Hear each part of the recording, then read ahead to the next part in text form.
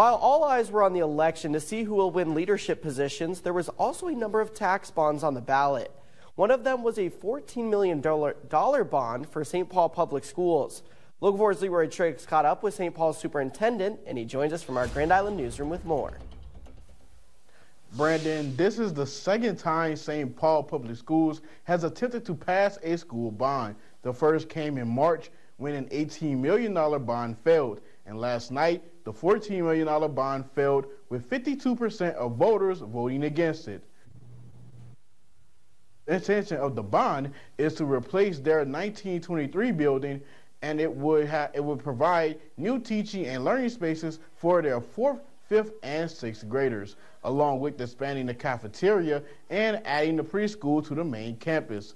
The school superintendent says that this is a need to improve the educational environment, adding that it took it is now back to evaluating what is best to improve the school at a lower cost. The board will have to sit down and discuss, you know, do we want to pursue a bond? Uh, do we want to wait a few years and, and kind of repair what we currently have, maybe make some updates and enhancements to other areas?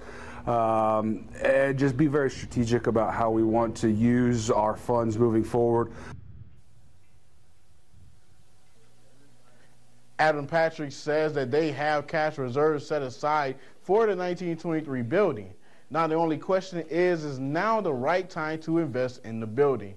Patrick says that structurally, the 1923 building can last between three to five years, but they will address a roofing issue and reevaluate where they want to be in the next five to 10 years. Brandon, back to you.